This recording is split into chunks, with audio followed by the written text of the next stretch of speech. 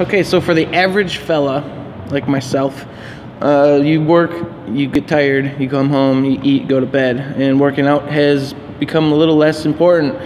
But you don't need equipment, you don't need a personal trainer. Uh, if you want to consider me one, that's cool, but I just have knowledge of the past and how I worked out hard and how um, I was successful with it without free weights. And uh, today we're to train in my parking garage around here. And you basically need what? I've got maybe 10 steps to the wall and the ground. And that's what we're to use today. And we're to crush it for three minutes. That's it. So let's get it in. All right, surprise. We're to do some burpees. And this is to be five, just five burpees. And then you're to walk to whatever your starting point is or keep that starting point at the burpee start. And you're going to just jog it out for about 10, 12 steps.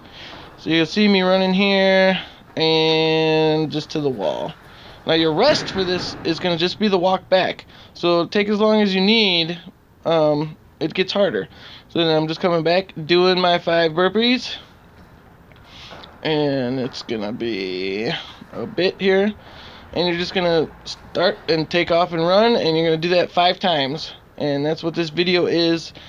Um, if you can't do it, if you can't do burpees, um, you can literally get on the ground and get back up.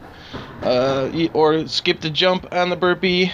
Or um, there's a million different ways to do burpees. I don't honestly recommend um, anything but the real thing, which is with the jump because it's added cardio and leg work. It's the fastest way you're going to get in shape is to do the jump.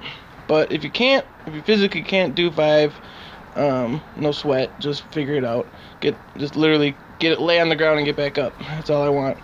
The jog, you might slow down. You see, I'm out of breath here already on the third set or whatever it is, and um, you're just gonna keep going, man.